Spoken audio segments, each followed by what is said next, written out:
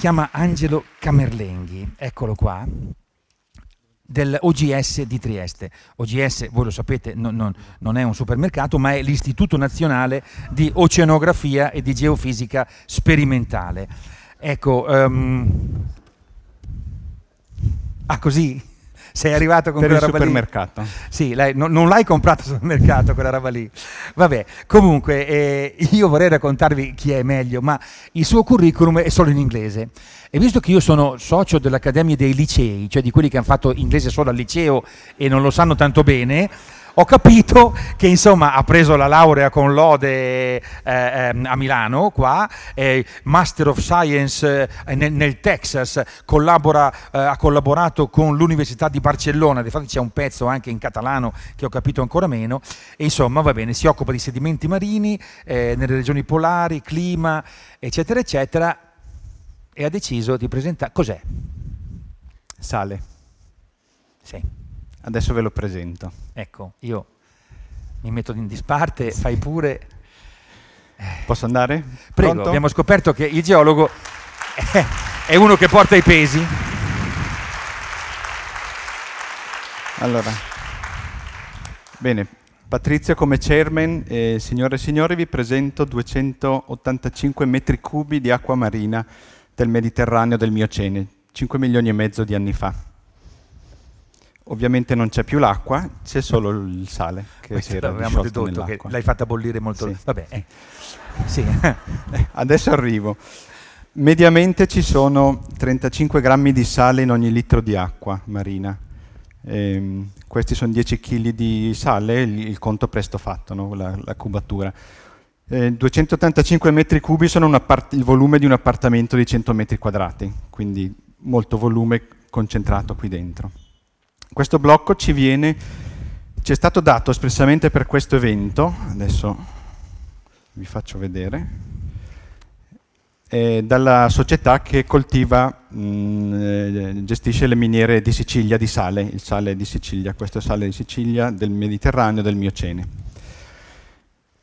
Volevo dirvi, quando facciamo un gesto molto semplice, eh, che che ripetiamo quasi quotidianamente, una manciata di sale, una pentola d'acqua bollente, come diceva Patrizio.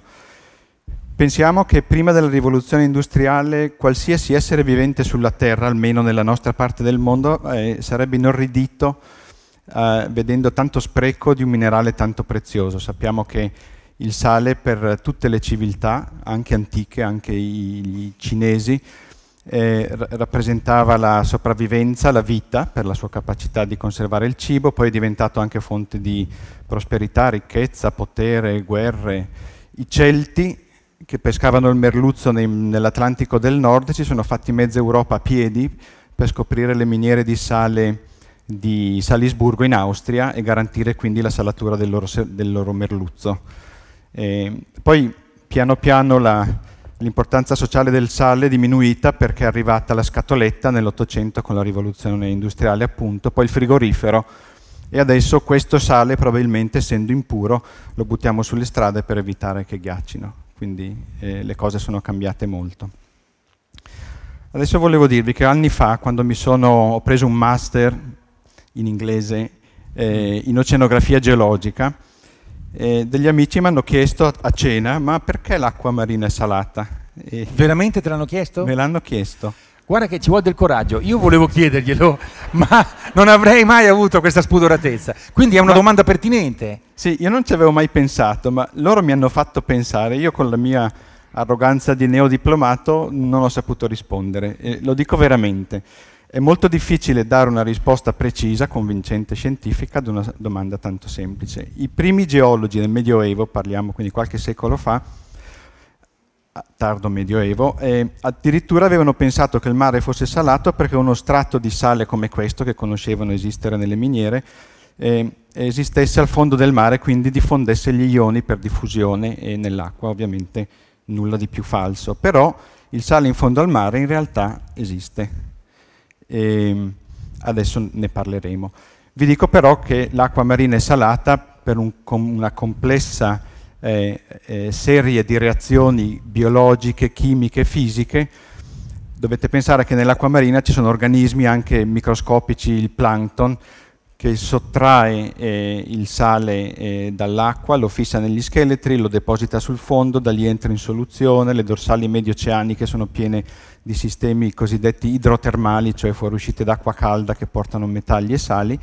Con la circolazione oceanica tutto si omogeneizza in una soluzione che io, e qui voglio dire che la scienza e il mistero vanno d'accordo, eh, de- definisco questa soluzione, l'acqua marina, misteriosa perché questi elementi, cloro, sodio, magnesio, lo ione solfato, il calcio e il potassio, sono sei, sono la stragrande maggioranza dei sali disciolti in acqua.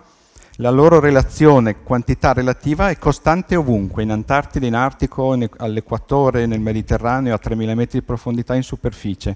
Basta misurare il cloro, che è più facilmente misurabile con uno strumento, e si calcolano aritmeticamente tutti gli altri. Nessuno sa perché, però è una legge perfetta, si chiama principio di Marseille. Allora, torniamo al sale in fondo al mare. Il sale in fondo al mare si deposita, quindi questa roccia si deposita ogni volta che nasce un oceano. Un oceano nasce per rottura di un continente sotto il magma nel mantello spinge, il continente si alza, si inarca, si frattura, si forma una Rift Valley, termine che probabilmente conoscete. Inizialmente si riempie d'acqua dolce, il lago Tanganika per esempio è un esempio della Rift Valley dell'Africa orientale, poi sprofondando la Rift Valley viene in, in, invasa dall'acqua marina, inizialmente non c'è circolazione, evapora più acqua di quanto ne entra, si deposita il sale per saturazione dell'acqua in questo modo si formano i cosiddetti salt giants o giganti salini, che sono enormi depositi rocciosi di sale sparsi per il mondo che alimentano l'uso industriale che facciamo adesso del sale. E sono di varie epoche geologiche. Ogni proto-oceano ha generato il suo gigante salino. Se vedete la macchia gialla, là, quello è il gigante salino del Mediterraneo, che è un'anomalia, perché si è formato non all'inizio della storia di un oceano, ma alla fine gli oceani nascono, vivono, muoiono perché i continenti poi si richiudono e il Mediterraneo è uno di questi. L'oceano gigantesco che si chiamava Tetide, è ormai chiuso, schiacciato tra Africa, Arabia, continente asiatico, rimane un lembo che comunica con l'oceano globale solo attraverso Gibilterra. 5 milioni di anni fa questo, questo collegamento si è interrotto. Adesso eh, tuttora evapora più acqua dal Mediterraneo di quanta ne entra dai fiumi, quindi il livello è andato giù di 1500 metri, è cominciato a precipitare il sale con un ordine ben preciso, prima i carbonati, poi i gessi, poi il salgemma, cioè questo e poi altri sali minori, e adesso abbiamo un milione, un milione di chilometri cubi di sale al fondo del Mediterraneo, con spessori fino a 3 km, separato dall'acqua marina da un sottile strato di sabbia, sabbia argilla. Sabbia argilla portato dai fiumi e dalle correnti dopo che, diciamo, dopo circa mezzo milione di anni, il mar Mediterraneo ha di nuovo invaso con una catastrofica alluvione che i modelli recenti dicono sia avvenuta in circa 200 giorni. Pensate in 200 giorni l'acqua che deve entrare da Gibilterra per portare il Mediterraneo su di 1500 metri. Questo pare che sia successo, non abbiamo la testimonianza diretta ma abbiamo eh, le prove nei modelli.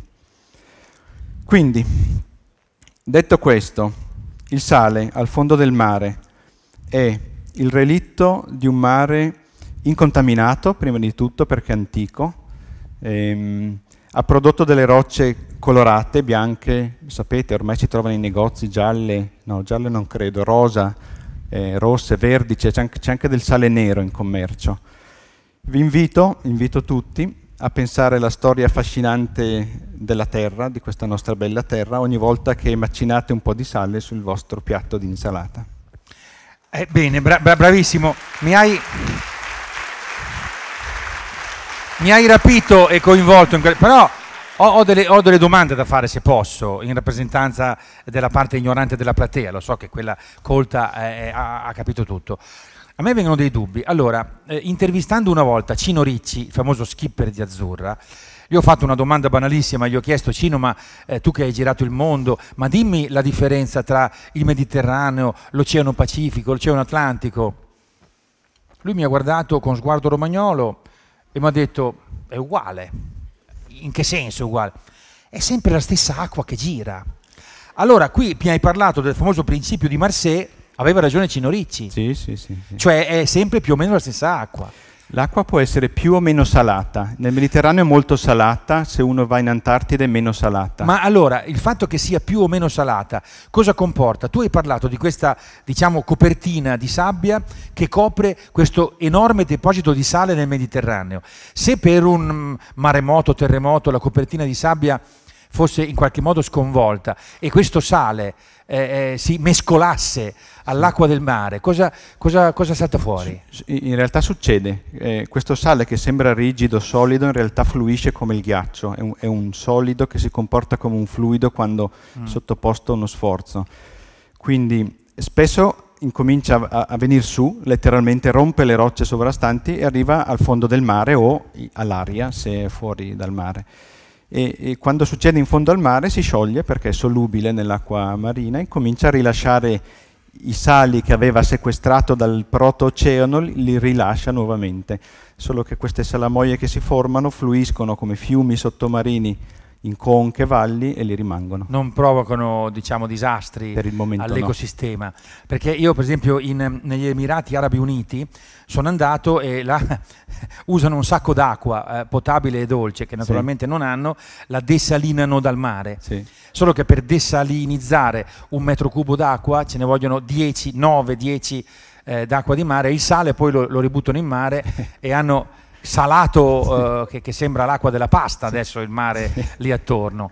Quindi non... Normalmente quando uno questi filtri, perché il processo avviene per mm. iperfil iperfiltrazione, in genere si puliscono sbattendoli a terra, non in mare, quindi basterebbe non, non lavare i filtri in mare e il problema sarebbe risolto.